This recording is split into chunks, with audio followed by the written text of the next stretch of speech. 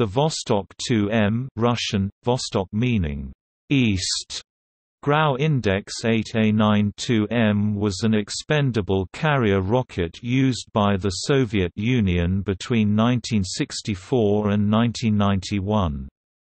93 were launched, of which one failed. Another was destroyed before launch.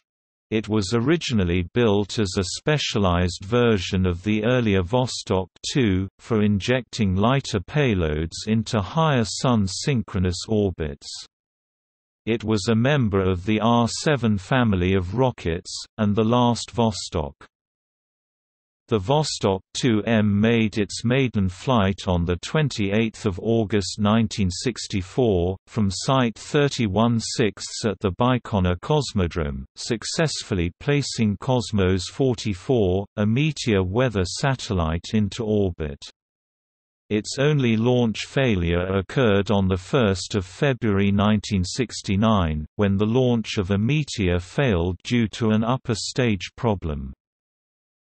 At 1601 Greenwich Mean Time on 18 March 1980, a Vostok 2M exploded during fueling at Plesetsk Site 43 quarters, ahead of the launch of a T D satellite, killing 48 people who were working on the rocket at the time.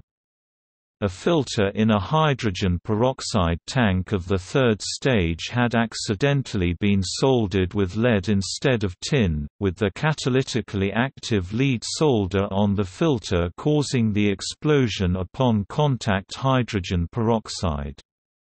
As a consequence, the H2O2 broke down, overheated, and melted the solder, causing pieces to fall into the H2O2 storage tank and cause a runaway chemical reaction.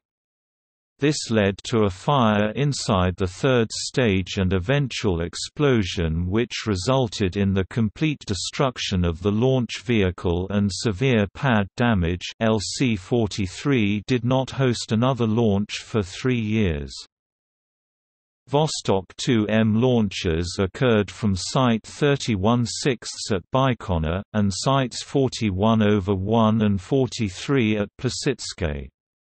It is unclear if any were launched from Site 1/5 at Baikonur.